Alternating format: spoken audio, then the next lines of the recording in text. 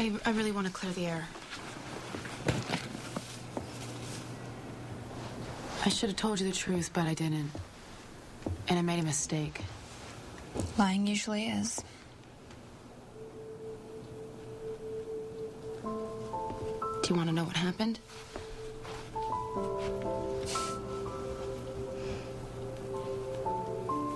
So, Dan and I had been friends forever.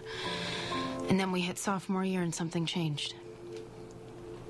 I don't know if it was chemical or maybe I just lost my mind, but I started obsessing about him.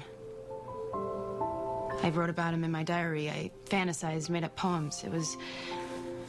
It was pathetic. Do I look like I care?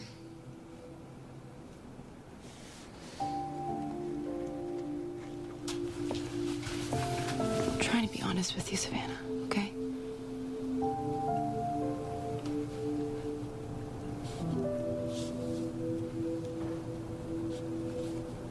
So, after a Weezer concert one night, I got what I thought I wanted.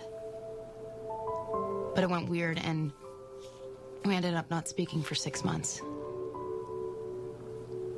Eventually, we got past it. You know, it was a thing, but we never really talked about it.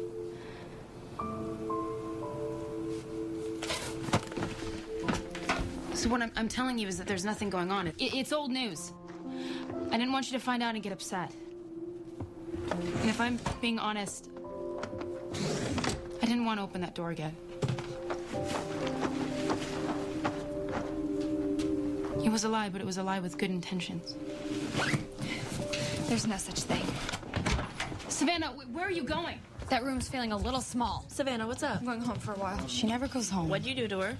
Is there gonna be a fight? Hey, hey, hey, Hey, hey. hey, Savannah, talk to me. Talk to me. hey. Leave me alone. Ooh, there's gonna be a fight. I hate when people fight. Everybody just give her some space. I need her to understand. Yeah, you've done enough. Why are you attacking me? You of all people should have my back. I just call him like I see him. Now, sectionals are in two weeks. The last thing we need is all this drama. What you're doing is bad for the squad, for everybody here. Well, what you're doing right now is bad for us. Remember us? How about a little support? Hmm? When you deserve my support, you'll get it. Until then, I choose the squad. Huh. I'm actually feeling sorry for you. Believe me, I'm as surprised as you are.